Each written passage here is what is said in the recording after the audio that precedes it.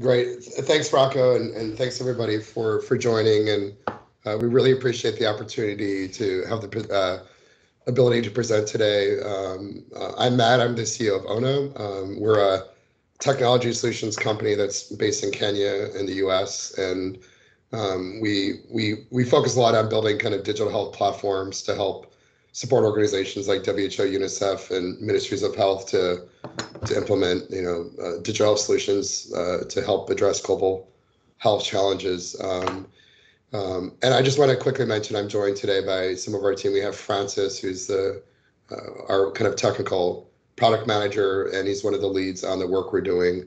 Um, so a lot of the stuff I'm showing is a result of, of his hard work. I just get to kind of take the credit a little bit. Um, so yeah, so today I'm gonna uh, try and walk through a little bit um, our journey around uh, developing applications uh, that are uh, based in FHIR, but the idea of allowing us to support um, WHO smart guidelines, um, so be able to ingest and use those as the foundation for we think is to be a, a next generation of of digital health apps. I just want to walk through a couple slides to present sort of the context, and then we'll do a very, very brief demo just to show you where we're at um, in terms of making this a real um, product. Um, so we've been in the kind of digital health space um, for about a, decade, um, and have in you know building both applications for uh, community health workers, but also for facilities. And I think we we kind of cut our teeth on kind of the facility side more. Um, so we kind of were exposed to building out. Um, when you start to start to develop facility apps, you start to realize quite quickly how complex they can become. Um, uh, so you know, we developed first with with Path and with with Gates and the Ministry of Health in Zambia, um, ZIR, which is a EIR electric immunization registry app um, that we rolled out in Zambia with the government. Um, but then after that, we uh, worked with WHO to develop their first um, um, kind of uh, reference application based on their new ANC guidelines. Um, and to be honest, like was I think uh, uh, it was about a one and a half year process just to kind of get all that logic from the PDFs um, to um, kind of a digital format, like in, into the OpenSRP kind of way we we build our apps. a ton of back and forth with WHO and um, you know, we got it, we got it built and it's launched and we're, we're it's being deployed in a couple countries right now. But I kind of like to think that that pain and that experience and uh, the, the difficulty in representing that clinical logic in a way that's reproducible um, helped in, inspire a little bit the the idea of the WHO smart guidelines. Um, so working with kind of closely with WHO, you know, um, you know, WHO had this vision around saying, hey, we um, you know, historically, our, our, our role is to develop kind of guidelines and provide uh, kind of the clinical guidance for what ministries of health should do when they're implementing something like ANC or, or child immunization. Um, now, as we start to work in the digital world, the challenge is how do we start to take these guidelines and make sure that they're converted over in a in a in a quick way in a in a in a in a timely way without a lot of error and it's something that's not too expensive. But also importantly, you know, WHO is in the business of generating evidence, so there's a lot of interest in in wondering how could we develop digital health applications that you know, first of all, have logic that we we know is accurate, is based on what we our recommendations are. But second, how could we ensure that um, the outputs are generating evidence, so standardized data, in a way that we can then use to uh, improve um, our guidelines, and then even in the future, potentially make dynamic guidelines uh, that would support this idea of precision health, public health, so using you know machine learning, AI. So, you know, adapting, for example, what a low birth weight or a low weight woman would be for like a high risk pregnancy. You know, that might vary by country. So, be able to kind of dynamically tune that for your your your your your audience or the the clients you're serving, I think would be really really valuable. Um, so WHO came out with this. I think it's a groundbreaking idea around um, smart guidelines, uh, and the vision was if we can make um, the these guidelines kind of computable, we call these L3 or machine readable. Um, we now need to have software that can run run them. Um, so that's kind of where we got involved working with Google and, and WHO and some other kind of uh, technical partners to see if it would be possible to actually build applications that could consume uh, the guidelines, uh, which are basically FHIR um, questionnaires and things like that, and make these applications. So um, we started this process about two and a half years ago at the start of the pandemic.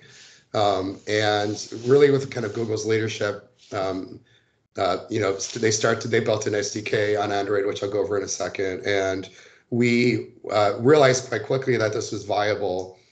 And as an organization, we made the decision to basically commit to uh, re-architecting OpenSRP kind of from scratch to creating a new version of, of our of our platform uh, that is a global good. Um, and trying to see if we can do it to be based kind of natively on FHIR, uh, so we can support the guidelines. So that's what we're calling OpenSRP FHIR Core. So it's OpenSRP. It has all the lessons we've learned, and it's you know the everything we've learned in developing digital health apps, but it's based on a new foundation uh, that's based on Google's SDK and uh, is built to natively support uh, the WHO Smart Guidelines. Um, so just a little bit on kind of FHIR and kind of the value too. So we even before this, we you know we kind of were introduced to FHIR a couple years ago. And for anybody that kind of already doesn't know, but FHIR is sort of a it's a standardized way uh, to uh, it was designed initially to kind of exchange data. It's derived from from HL7, which is an XML standard, and this is like the new version that's kind of based on JSON, which is a bit more user friendly.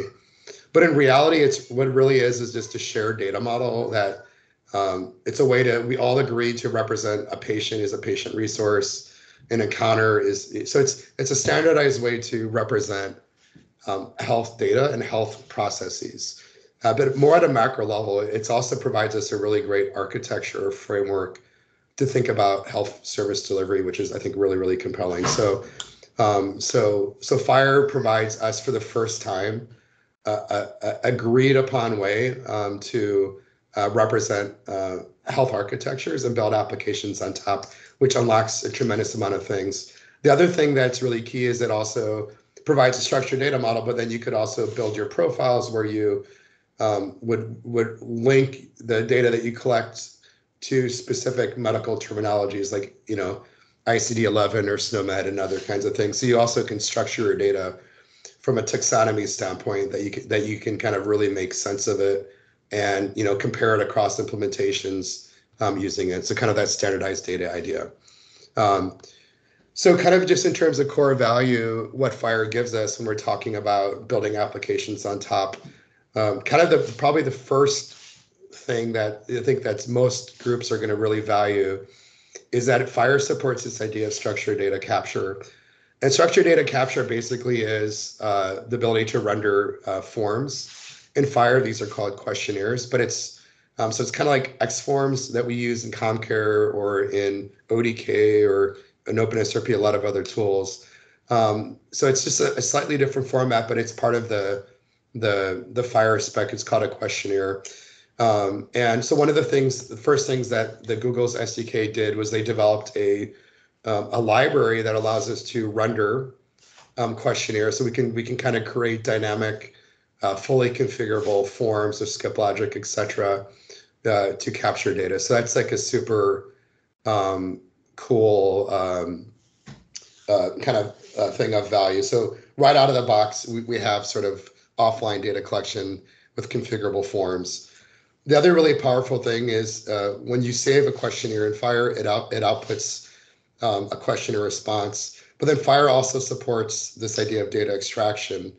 And the idea here is what you don't want to do is you can you have your your forms like you maybe your, represent your your your clinical visit.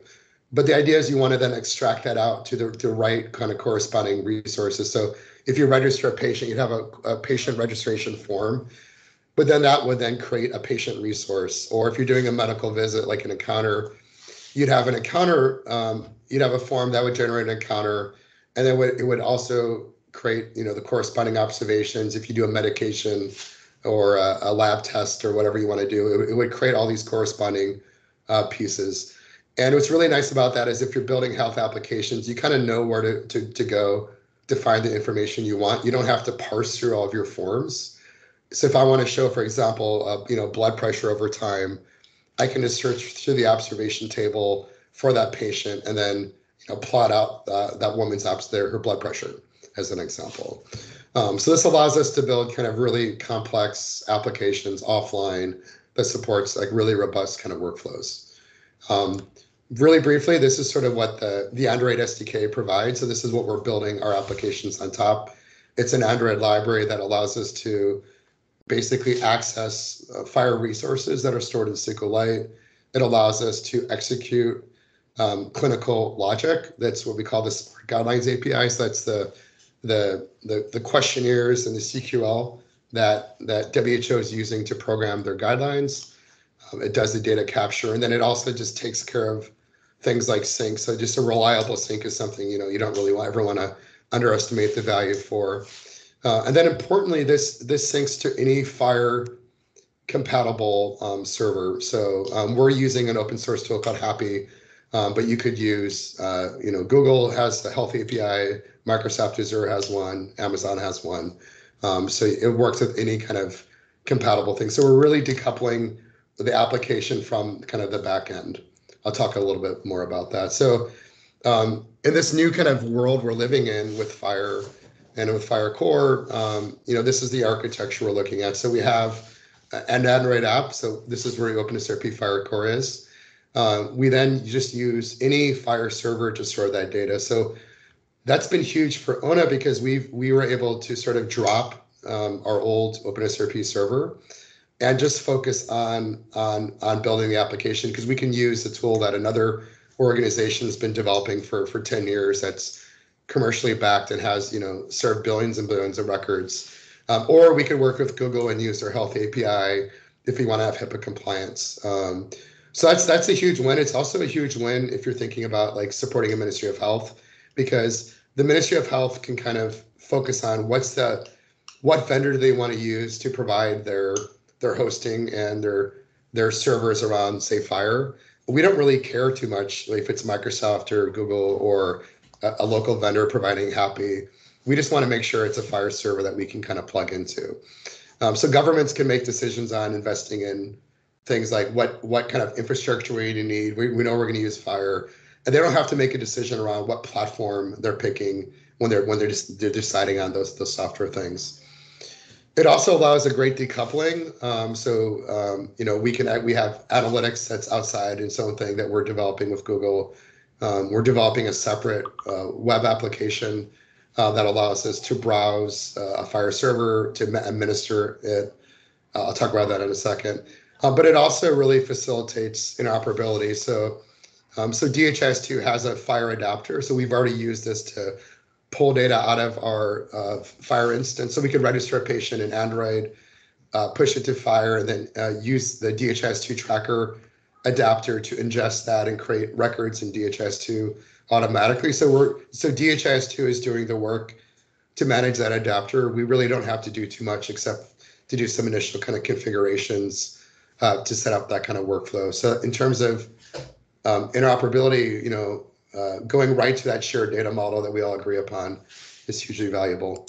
Um, so one of the things we did in, in started building this process is we realized that for FHIR to be kind of become useful, we need to uh, have some some simple apps that we can hand to people to start building uh, on FHIR and, and, start working on data collection. So um, we worked at we're working on something called Quest, which is kind of like a, a, a CommCare ODK or like a simple uh, case management tool uh, on top of FHIR. So the idea here is you can register a patient and then upload different questionnaires and collect data on that patient. So it's just a very simple kind of data collection app. It's not really meant to be a full EMR, but a tool just to kind of get started with um, uh, on doing. And it's actually really powerful. You can use it for a lot of use cases. And we, we have, this is from the support of the the McGovern Foundation that kind of helped kickstart this. So it's been really, really helpful.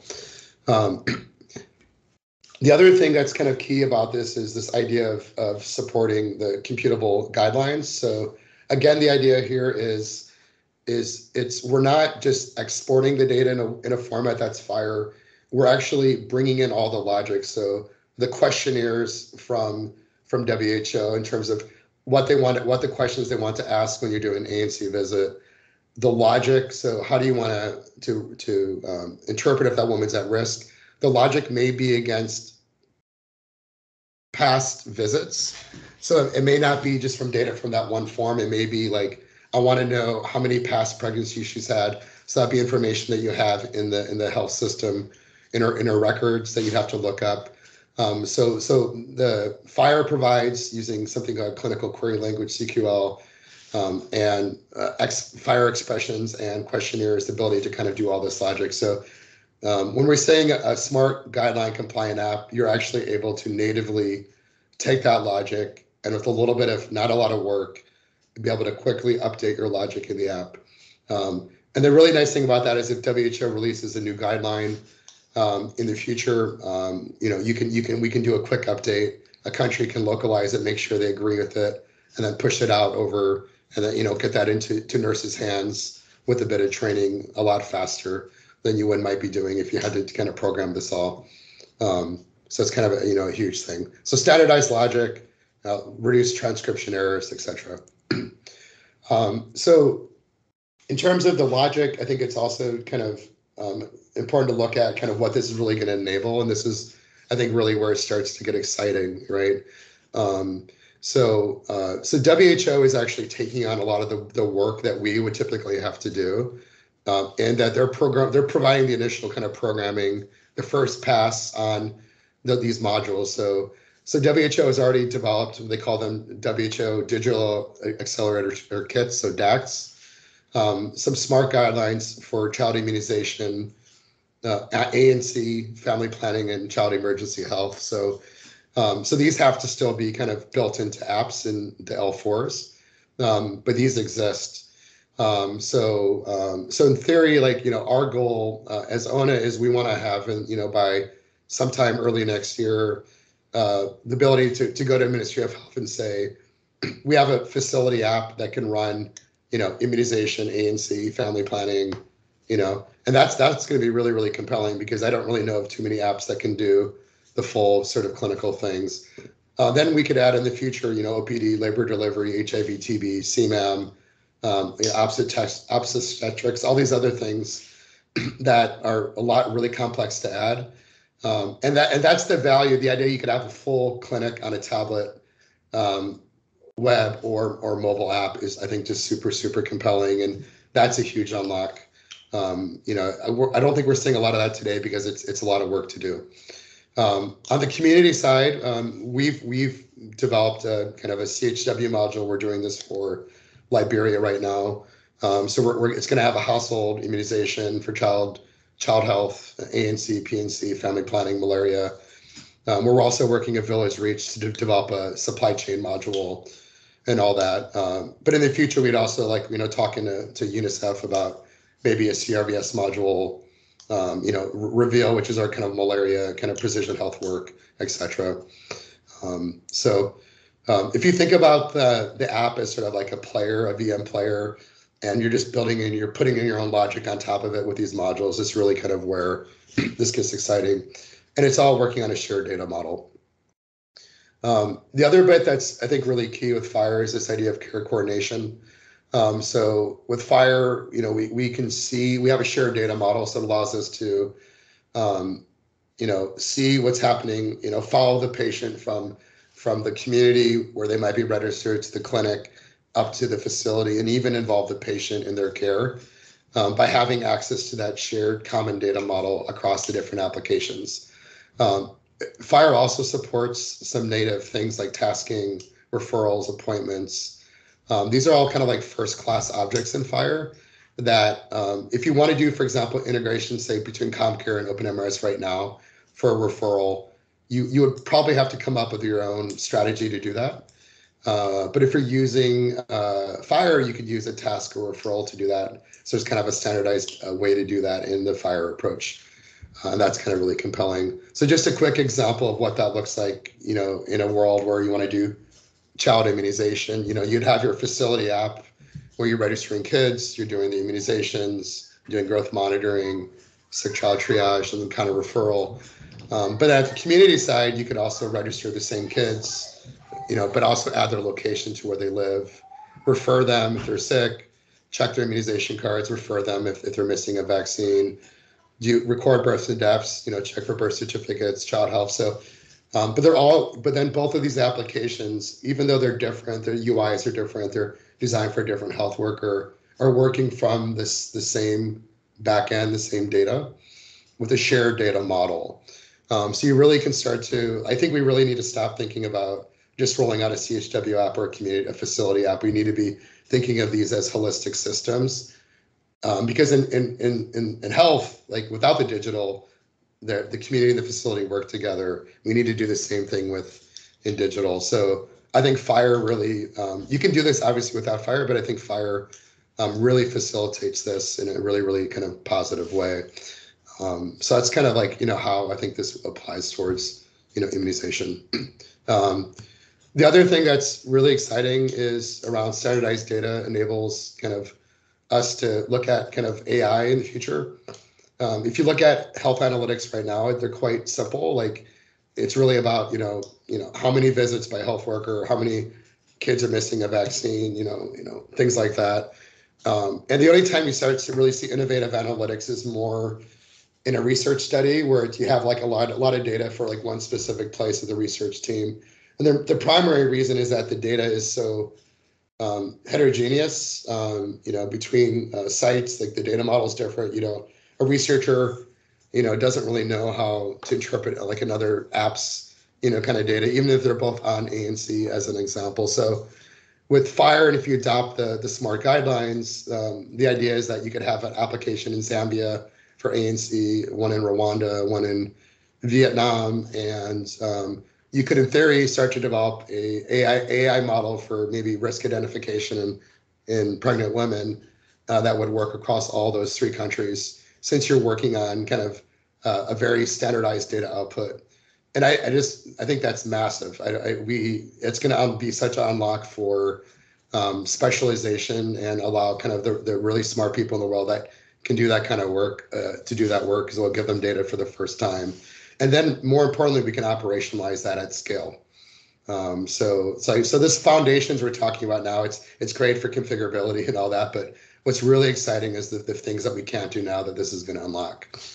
Um, the other thing that's really, really valuable, though, in the short term, is that FHIR as a standard promotes specialization, which allows us to start to create software ecosystems. So what I mean by that is, as we've been trying to build out our, our new platform, like I already mentioned, we were able to dump our back end. So that that alone helped with our decision because we know we didn't have to to also rewrite a servers. I don't know if we could have done that.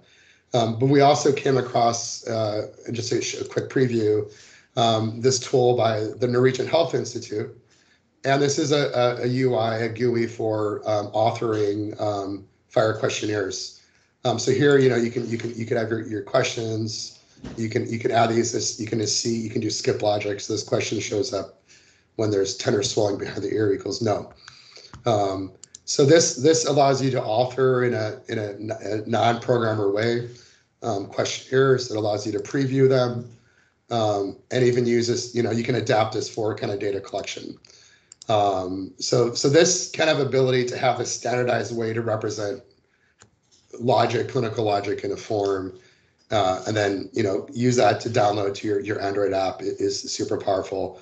But this would have taken us, you know, I don't over a year to build, and I don't know if we would have done as good of a job. To be honest, they did. They've done a superb job, and they continue to manage this. So, so that's like it adds so much value, and and now like they didn't. We never met them. Anybody in the world now, it's kind of the ODK ecosystem can use this tool if you're using FHIR questionnaires and benefit from it.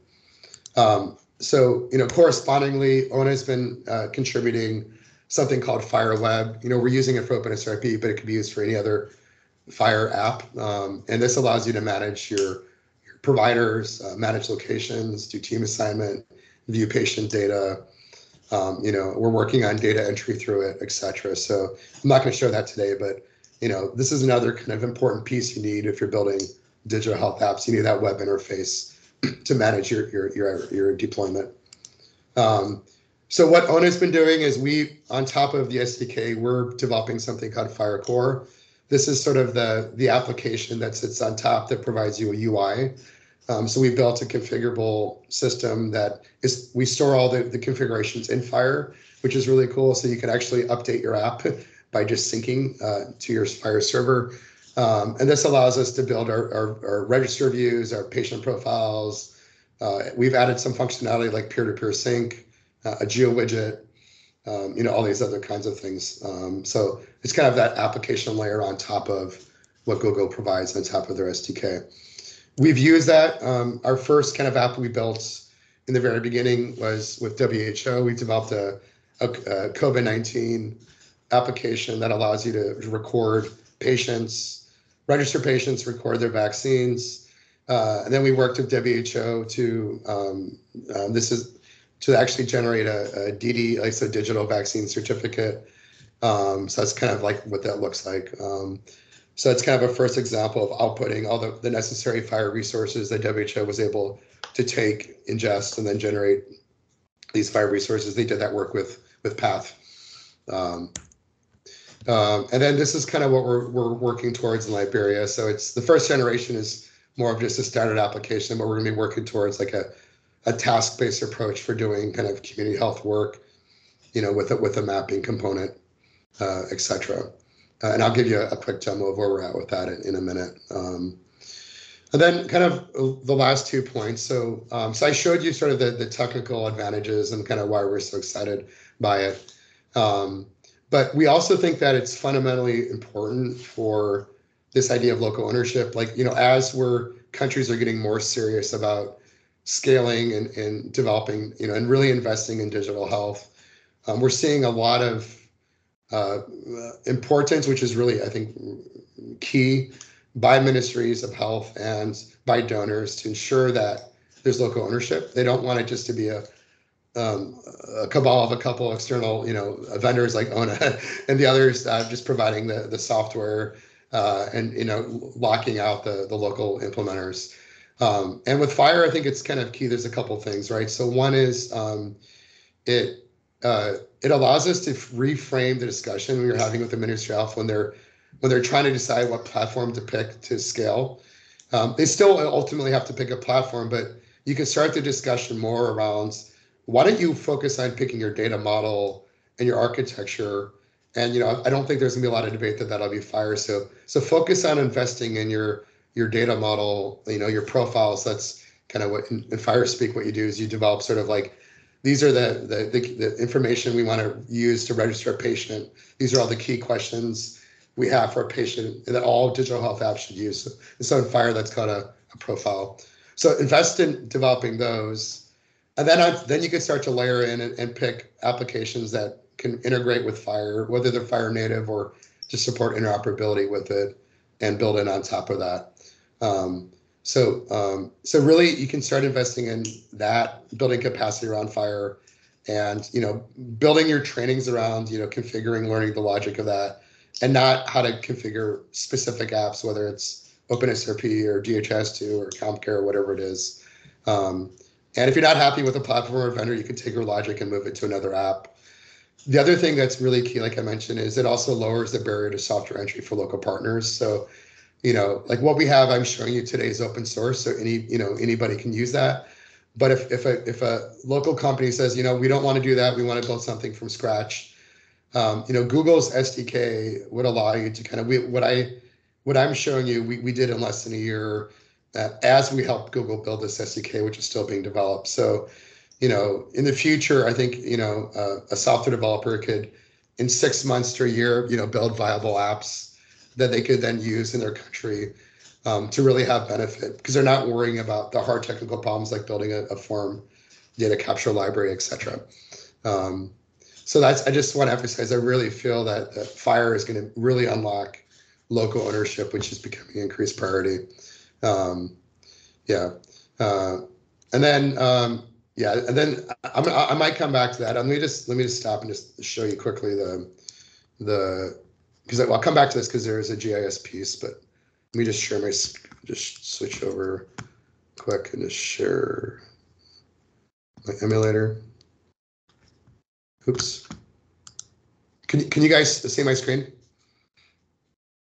All right. Yeah, yes. Yeah, so this is just a, a quick preview of, of to show you that it's it's you know this exists. It's still a work in progress, but um, so this is a, a FHIR uh, you know FHIR core app um, that is um, what we're going to be based on what we're going to be rolling out in Liberia later this fall. Um, so for CHWs, you have this idea of, of households, and you have different types of of you know clients. You have like ANC, so this would be like pregnant women. Um, but um, so I, I, I, can just show you, for example, like a, a family. So we have like the Bush family, um, and so you have different household members. Um, you could have tasks that are linked to the household, or you could have um, tasks based on these things. So what I'm going to do quickly is let me just, um, I'm just going to register a, uh, a household member quick. Um, so let's just say Jenna Bush. Um, I don't know why I'm picking the Bush family, but um, all right. So pick her date of birth, 1996, female. Um, no. So these are again, this is all configurable using a FHIR questionnaire, like I, I kind of mentioned earlier. Um, no education level, primary. Um, I'm going to save it. Um, so now if I go to uh, Jenna or go back to the bushes, you see that we now have Jenna. She's a 26 year old woman, uh, a female. Um, and then I can go to her profile and I can just see basic information. This is going to be filled out more in the future. So if I want to enroll her in ANC, um, so she's pregnant, I would just record her ANC form. Um, I'm going to say it's active case.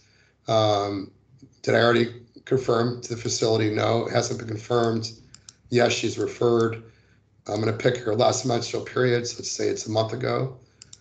Um, and in the future, this will auto calculate the months pregnant, but you can see it does expect a date of delivery. Uh, let's say she does have danger signs. What are the danger signs? They'd say, you know, fever and a chill. Uh, no. Okay. And does she, you know, does she have a birth plan? So let's just say no for now. Um, so I'm going to submit that. Um, and now the really cool thing is um, we've what we've done is FHIR has this idea of care plans. Uh, so care plan is basically the logic that you use um, when you want to enroll somebody for a certain type of care. So for ANC, you have a what we call a plan definition, and the plan is basically what you do, the care you need to provide to a woman when she's pregnant. And then that generates an individual care plan for each patient. And that care, care plan consists of different tasks that you then follow. So, so Jenna now in behind the scenes has a care plan for her pregnancy. It has like a, you know, when it started, when it, when when her expected date of delivery is. Um, so we kind of know when it should, when the child should show up if everything goes well.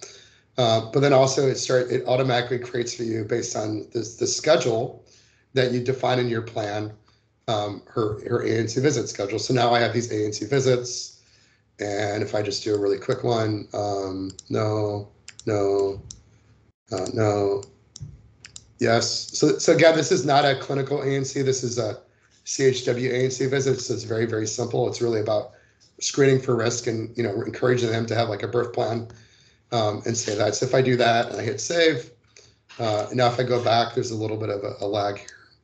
Um, if I go back to Jenna, I'll see now that her task has been complete. Okay. Um, so it's just like a, just a very quick kind of example of this kind of pattern where you enroll them, you roll them in care plan, and then you can assign them to tasks. And the really cool thing is these tasks can then be assigned to other health workers. Um, it can be assigned to like, you know, can be seen by a nurse at the facility, etc. Um, and now Jess is available or Jen is available in the system and if we had a corresponding facility app for ANC, you know, we would already know sort of the reported, uh, you know, we'd have her information already in the system. We'd have her uh, her reported, uh, you know, LMP, et cetera, that the nurse would then verify. Um, so that's just a you know a quick thing, and then also just little details like um, uh, device device sync, language support. Um, the other quick one that that's kind of really cool is we support in-app reporting. Um, and uh, this first one, when I first time I run, it's a little slow, so so bear with me. What's what's exciting about this is this is also purely based on FHIR. FHIR has something called measure reports, which are a way to um, generate um, defined indicators. Uh, and then, so this is actually using uh, the, the, the FHIR way for defining your population and then ways to disaggregate it to create indicators. Um, so what's what's really cool about if you think about the smart guidelines is you can you can develop your data collection app, but you also can design your reporting that you would want your app to do too as a holistic package. So so not only can we support data collection, we could also support the kind of reporting that you would want a health worker to see as defined by the smart guidelines. Uh, and this was this is work from support from Digital Square and Path. Um, a lot of patience because it took forever for all the for all the necessary FHIR things to happen to make this possible. But it's really exciting to see that we we can kind of do that. Um, so one one last thing, and I just want to since this is a talk about GIS, I just want to circle back um, really quickly on on on FHIR. Um, so um, so the next thing that we're you know we've done a lot of work in the past on developing applications for malaria. It's called Reveal. That allows us to, um, you know, uh, identify where people live. Um, we did this with Akros in, in Zambia. Identify where people live, um, register households, and then assign tasks to those structures. So it could be like a, a, a it could be a thing like you know I want to visit a house and and, and spray it, or I, I know how many people live in that house. I want to bring a bed net for every every every sleeping set in that house. Um, so what we're really excited by with the with the work we're doing in FHIR now is since it's based on a task-based data model, um, you know, the idea what we can do now is we can take smart guidelines, so we can take, you know, WHO prescribed, you know, malaria treatment at the household level, or some kind of a screening, um, combine that with the Geo widget, and then start to do precision-based care, whether it's in campaigns or routine service delivery. Um, taking the the standard FHIR model too we could also think about how we start to look at um, doing kind of large scale um, campaign work um, based on FHIR. So FHIR provides all the ingredients we need for that. It provides the ability to define a microplan using a plan definition. It has this idea of health workers, which are your field data collectors. It has the idea of teams, which is how you, if your field teams for doing like a large scale, you know, COVID vaccine drive, uh, it has tasks, so you can you can say visit a, a community or visit a household. Um, so we can link data collection to specific locations, and tasks, and we have locations which are like a shared way for us to understand where people live or where facilities are, etc. Um, so you know, like just the idea that we we we, we register where Grace is, and now everybody in the system knows that and can link service deliveries and tasks to that whether it's a vaccine person, an antenatal nurse, um, a bednet distributor is like really, really, I think, kind of a compelling idea in general. So we need to start thinking more holistically too when we're designing health systems about shared data that these different apps should use. So like we should have shared locations, you know, I hope someday in the future down to the household level if that's if that's appropriate from like a data privacy standpoint. Um, it also allows us to kind of start to think about decoupling of microplanning strategies, right? So if we're using kind of a FHIR approach, we can create tools that that you know really beautiful you know visual tools using maps on the web to do your planning that links to your spreadsheets you're generating your your campaigns um, you could have different tools whether it's reveal or or OpenSRP or DHIS2 if they sort of agree on a way to, to download tasks and locations. You know, they can then, you know, um, take a plan from another tool and collect data on it. You can have specialized analytics from the different tools, and then of course you can have that data feed into DHIS2. Um, so this is something that we're kind of we're, we're trying to push. Rocco, I'm gonna we'll keep pushing you a little bit. We can talk about that maybe on the call, but um, so I think that's kind of the idea. Once you start to embrace FHIR, we can then start to focus on these other areas like microplanning that might be kind of the secondary level, but the same ideas and values really apply. And I think you can take this for a lot of other ways in health. Um, and with FHIR, you know, if you think about, um, you know, uh, a campaign, if you're doing a, a, a, community visit or a household visit to do a bed net distribution or spray, the same idea applies for every single other kind of visit you're doing.